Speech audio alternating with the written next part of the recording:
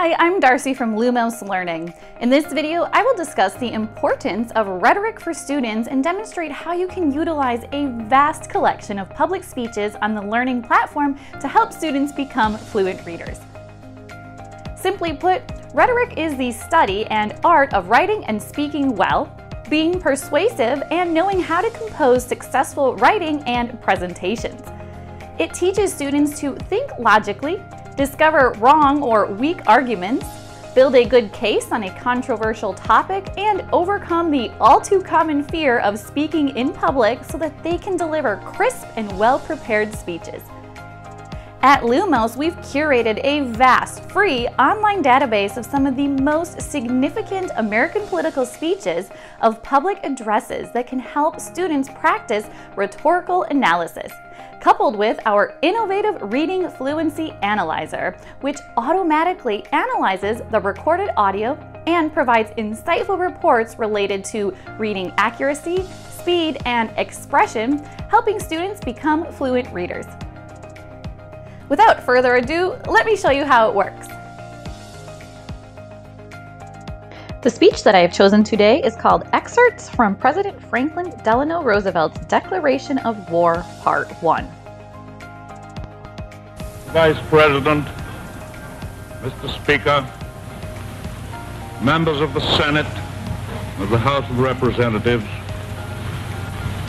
yesterday, December 7th, 1941, a date which will live in infamy. The United States of America was suddenly and deliberately attacked by naval and air forces of the Empire of Japan. The United States was at peace with that nation and at solicitation of Japan, still in conversation with its government and its emperor, looking toward the maintenance of peace in the Pacific.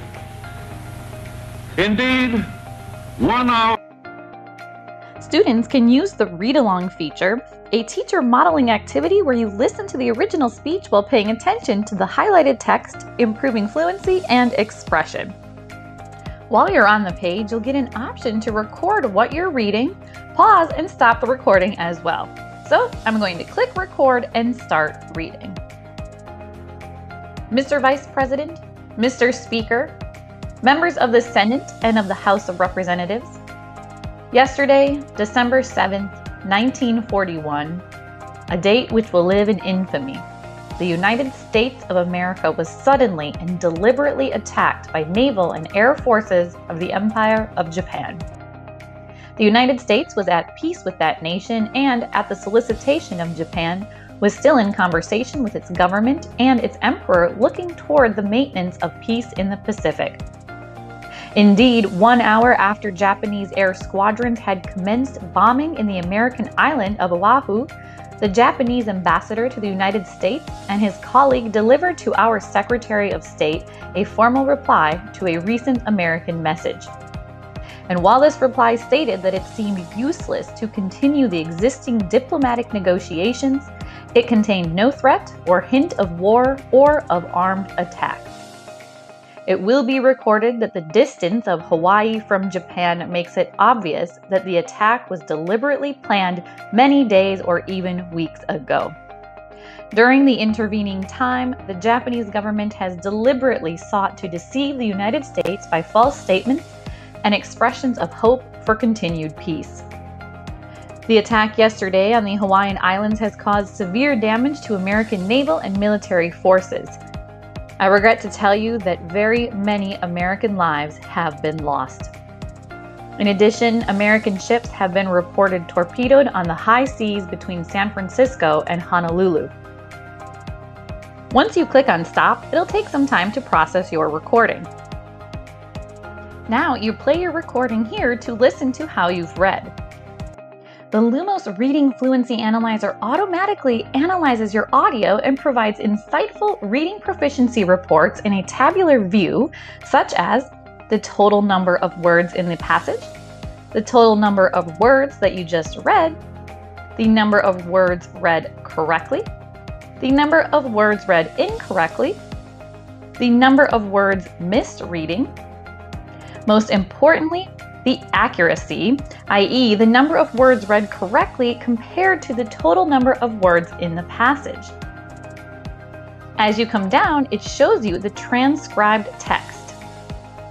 The correct, incorrect, and missing words are also highlighted with different color codes to understand the reading gaps better. Wait, we're not done yet. As you click on the next tab, you'll view some interesting graphs, the pitch graph and the intensity graph. The pitch graph here will show the pitch variations for specific words that are read, whereas the intensity graph will show how each word is emphasized while reading. To keep practicing, you can sign up for a free account in just a few clicks. Just enter some necessary details as shown on the screen and you're ready to go. Isn't it fun and easy to practice rhetorical analysis and improve reading fluency? So, what are you waiting for? Visit the link in the description below and head over to Lumos Learning to get started. I'll see you again with another video. Until then, stay safe and take care.